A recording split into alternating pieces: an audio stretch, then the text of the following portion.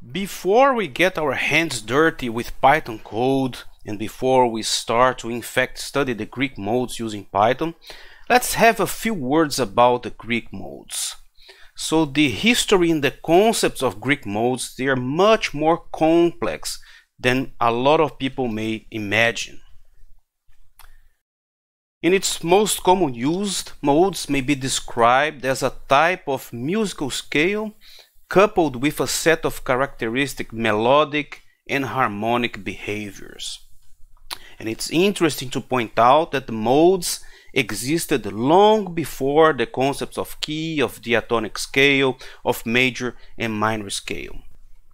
So the concept of mode in Western music theory has some stages. We find modes in Gregorian chant theory. We find modes and changes in modes perception and concepts in the Renaissance polyphonic theory and also some changes in tonal harmonic music of the common practice period. So this common practice period has a lot of the tonal theory and most of its features persisted from the mid-baroque until the classic and romantic periods. So also modern musicological um, practice has extended this concept of modes to earlier music systems such as the ancient Greek music, the Jewish cantillation and Byzantine system of uh, and other non-Western types of music. So it's interesting to point out also that the early Greek referred to modes or scales and were named after certain ancient Greek subgroups like the Ionians, Dorians, Aeolians, a small region in central Greece, Locris, and certain neighboring non-Greek people from Asia Minor like Lydia and Phrygia. Also, during the ancient Greek times, Plato believed that playing music in a particular mode would incline one towards specific behaviors associated with that mode and suggested that the soldiers, for example, should listen to music in Dorian or Phrygian modes to help them make to help make them stronger, and they should avoid music in Lydian or Mixolydian or Ionian modes for fear of being softened. And Plato also believed that a change in the musical modes of the state would cause a wide-scale social revolution. So we see that music and modes they are quite related to philosophy during those times. And we see that philosophical writings of Plato and Aristotle include sessions that describe the effect of different musical modes on mood and on character formation. So there is this quote from Aristotle's Politics The musical modes differ essentially from one another, and those who hear them are differently affected by each. Some of them make men sad and grave, like the so-called Mixolydian. Others enfeeble the mind, like the relaxed modes.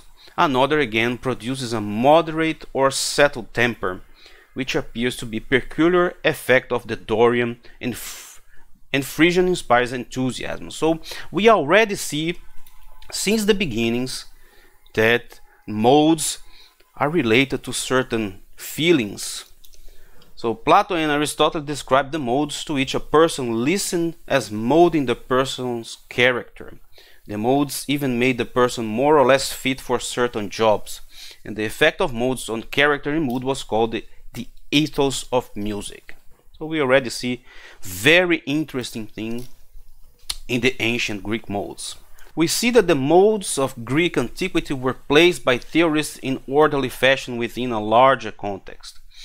Although the modes were a series of seven note diatonic scales containing five whole tones and two semitones, the nucleus of the tone system was a tetrachord. So a tetrachord is a group of four consecutive notes, for example, as from C to F on a piano, comprising the interval of a fourth. So we have some foundations of modes in Greece, and we have also the church mode or the ecclesiastical mode. And in music, any one of the eight scalar arrangements of whole and half tones derived by medieval theorists, most likely from early Christian vocal conventions, were called church modes. There is a common misconception that the church modes of medieval European music were directly descended from the Greek notion of modality, but in fact the church modes originated in the 9th century, and authors from that period misinterpreted a text by Boethius, a scholar from the 6th century who had translated the Greek musical theory into Latin. We come to the modern Western modes, and the modern Western modes use the same set of notes as the major scale in the same order, but starting from one of its seven degrees in turn as a tonic, and so present a different sequence of whole and half steps. So one of the definitions of musical scale is that it's a set of pitches within an octave arranging in ascending or descending steps. In Western classical music scales are identified via, via a set of intervals, tones or semitones, or whole or half steps to form generally understood major and minor variants, such as the natural, the harmonic, and the melodic minors, for example. And these variants can be applied to different keys, such as C, D, E, F, G, and so on. And the modes are simply versions of a parent scale. So, for example, if we use the C major scale as a parent scale, so we'll have the notes C, D, E, F, G, A, B, C. The first note begins on C, but by keeping the same pitches and beginning the sequence on a D, so we will have D, E, F, G, A, B, C, D, then we create the second mode of the major scale. And this mode we'll later see that is the Dorian. Most of us will touch only the surface of this very interesting topic. I am not a musicology expert, so I won't go further. I just collected some interesting facts about modes and a bit of the history, how it uh, started in Greece. We have a period of the Gregorian chants. We have a period of tonal music. We have the period of the Renaissance polyphonic theory.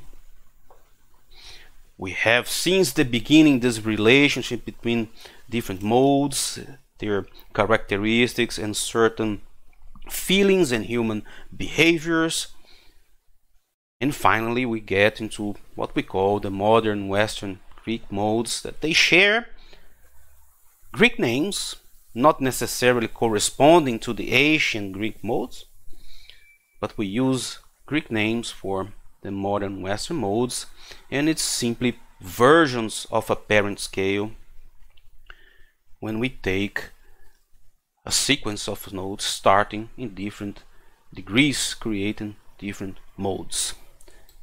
In the next tutorial we will start getting our hands dirty with code and we will start with the major scale as a parent scale and then we will derive second mode starting from the second degree and we will start our study of the modern western Greek modes.